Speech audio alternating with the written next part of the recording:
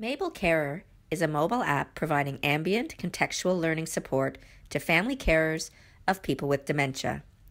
People with dementia increasingly cannot moderate their behavior, and typical carer interactions can easily make the situation worse, leading to increased anxiety, stress, and in some cases, anger and violence. Carers currently learn by trying to anticipate situations ahead of time or by reflecting on the situations that arose after the fact often feeling guilty and personally disappointed in the way they handled the situation. MABLE Carer helps the carer be prepared for the situation they will encounter. It then aids in learning how to assess situations and determine appropriate responses in the moment.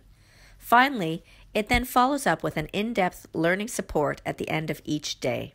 MABLE Carer monitors live conversations between the carer and person under care, processes that through a custom developed natural language classifier, and uses the resultant classification to provide immediate, in depth, and contextually relevant learnings. Through this mechanism, carers can naturally learn to adapt to the challenges of dementia care in situ with less risk of escalation.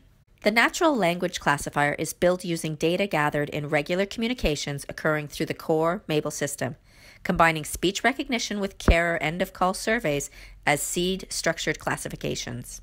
MABLE Care also offers assistive features, such as prior to a care session, MABLE Carer can take advantage of tone analysis of any recent communications to better assess and prepare the carer for the initial mood of the person under care.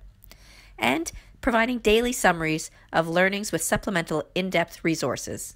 Together, IBM Watson and MABLE have the data and systems to develop the next generation of ambient contextual learning. Healthcare is only the beginning. Many disciplines involving learning based on communication are immediately suitable to such systems, including sales, education, and customer service.